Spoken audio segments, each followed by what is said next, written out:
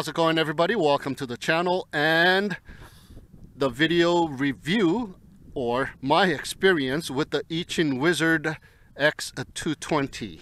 I got it all set up, ready to go. It is an X-frame carbon fiber. Uh, the carbon fiber frame is thick. I believe uh, they uh, say it is four millimeter in thickness. Uh, on the bottom plate there looks about two millimeters and the top plate looks around one one and a half millimeter in thickness. Side panels there's the USB uh, connection port right there. Uh, it has come uh, with nothing assembled. Uh, you have to screw on your own propellers and you do have to go all the way down. Uh, the shaft is pretty long so be aware of that. And of course the uh, the silver nuts go on the right top and on the left bottom and the black ones go on the bottom right and on the left uh, top. Uh, well this is an ARF version. It does not come with a receiver so you will have to uh, put your own PPM or S-Bus receiver. I chose the S-Bus so um, there's a receiver wire the RX wire that is already uh, installed on the board itself. Uh, you just have to take it off and put it on the opposite side on the I.O. port number two and put your receiver on there. I have the uh, FrSky X4R receiver and it was really easy to set up and bind. Uh, press the button, power up the uh, quadcopter and press the bind button on your model, select it on your Taranis. So that was really easy the next thing I did was uh, uh, after that I just kind of double-sided taped the the receiver uh, inside right on top of the uh, the board there as you can see if you can see that. Anyways uh, I just left the original antenna. You gotta screw screw this thing on pretty tight in order for uh, the antenna itself not to move. So you really gotta go and use a little tool to screw it down so it gets a nice tight uh, fit. And don't take it off because every time you turn it on if you don't have the uh, antenna on you can fry the uh, the transmitter. And another thing I did with the um, the receiver antennas uh, pretty long antennas actually I took it out of those little holes that is already pre-holed on the top plate. And what I did was I put um, a couple of coffee straws uh, put it in there and I hot glued the coffee straw right on the board on the top so it doesn't move around. So that should work hopefully. And also what I did was um, on the battery strap they, they give you this one battery strap of course it says Eachine on it. And uh, it comes uh, on the front there's two battery strap holes on the plate so that's really nice. So I moved it to the back and the reason why is because I wanted to put a camera up in the front but it juts out so far that it kind of blocks the view of your FPV camera. So what I did was I uh, put another velcro uh, a little bit longer one and I got my RunCam and on my RunCam I'm sticking all over the velcro with my gloves there on my RunCam on the bottom holster what I did was I put a couple of foam pieces one longer and one a little bit shorter. So it gives a little bit of an angle up. I'm not that very speedy so I don't need the angle up that high. I'm just gonna use it uh, a slight tilt. And what I also put was a, velcro tab that comes with those uh, 600 milliamp uh, uh, the brushed uh, motor racers for the battery. I just put that on the bottom there. So uh, I can put my camera velcro right on top of the battery velcro so it won't slide off. And I'm using the battery to give the uh, the camera a slight tilt and just strap it down. It's not the strongest of the straps but I do have this um, battery strap to hold the battery down. So hopefully that works out okay. And if I want a little bit bigger tilt all I gotta do is put another little spacer there to give it a little bit more angle up. So we'll see how that works out. So I haven't flown it yet. I just put the props on right now. And the little prop uh, tightening tool that they give you made out of carbon fiber, the small little uh, wrench, doesn't work very well. So what you need to do is get yourself a nice um, uh, socket and uh, push that down all the way to the bottom to the motor.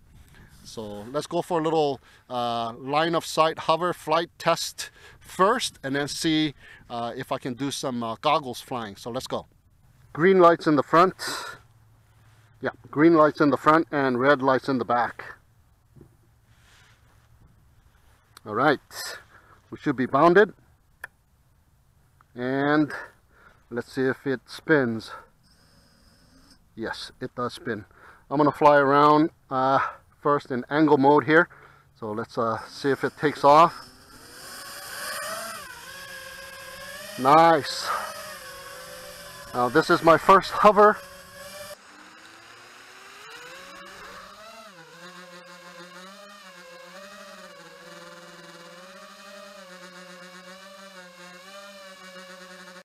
So I don't want to go uh, buck wild here.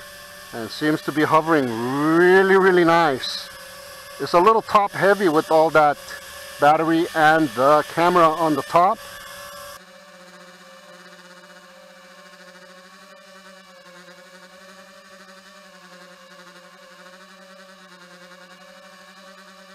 But check it out. Not much wind today I can feel a lot of power on my fingertips here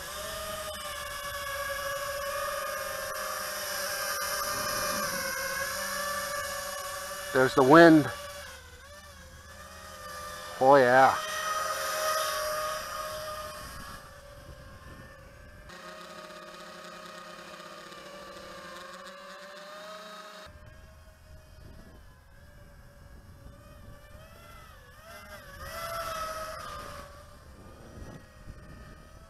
Yep, very smooth. Yep, you can fly it really slow.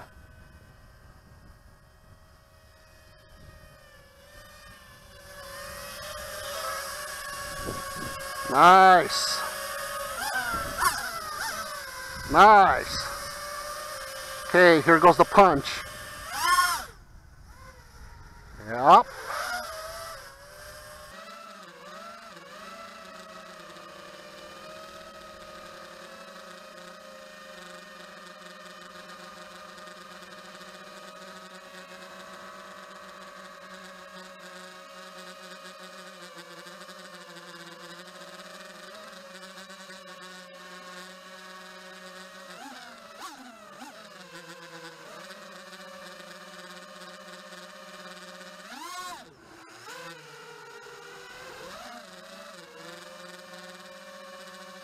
One more punch.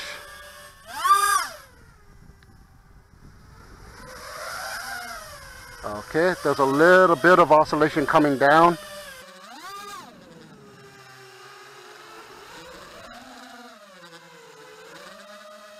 A little bit of prop wash probably, but not much. Yeah, not that much.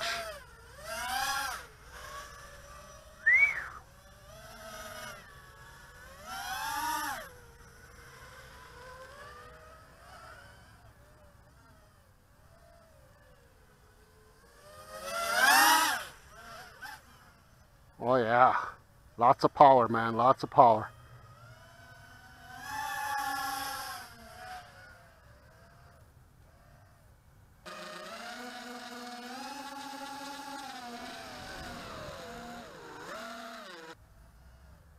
Nice.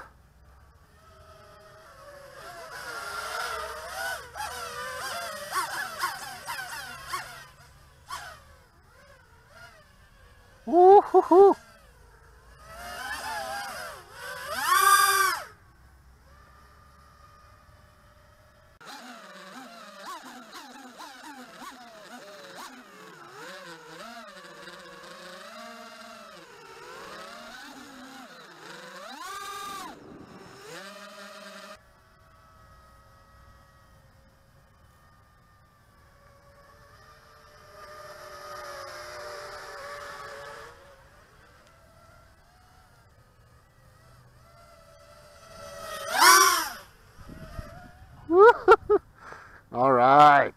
Not bad, not bad.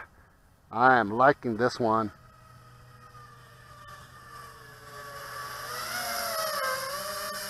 All right, let's bring it in for a landing here.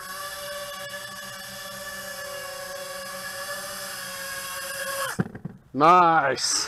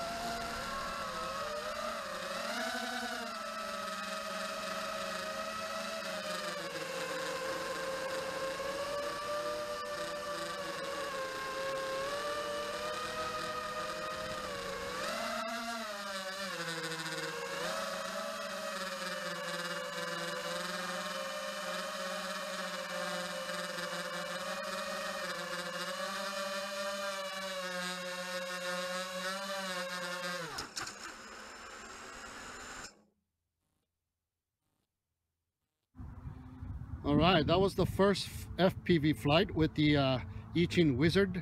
Uh, and I was using the Eachine uh, VRD2 goggles because the frequency uh, did not match onto my Fat Shark goggles.